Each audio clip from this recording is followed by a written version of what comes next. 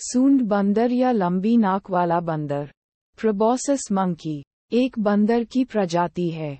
ये बंदर लाल भूरे रंग का होता है और इसकी नाक बहुत लंबी होती है। ये दक्षिण पूर्व एशिया के बोर्नियो द्वीप पर पाया जाता है। ये बंदर मैंग्रोव जंगलों और द्वीप के तटीय इलाकों में रहता है।